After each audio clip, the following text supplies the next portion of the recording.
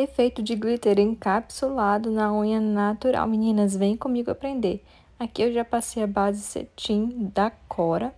E depois eu venho com esse rosinha chamado Julie, também da Cora. Vou passar uma camadinha primeiro e vai ficar assim. E nas pontinhas das unhas eu vou passar um Miss Sunshine com auxílio de uma buchinha. Vou passar uma camadinha em cada unha. E depois espero secar e venho com esse glitter dourado chamado Happy Year. E para fazer esse efeito encapsulado, o segredo é você não cobrir o glitter todo. Eu vim com a mesma cor de fundo, cobri um pouquinho ali, limpo o excesso do pincel e arrasto ali a pontinha para não marcar. Depois de seco, finalizo com o top coat da Cora, que vai dar aquele mega brilho.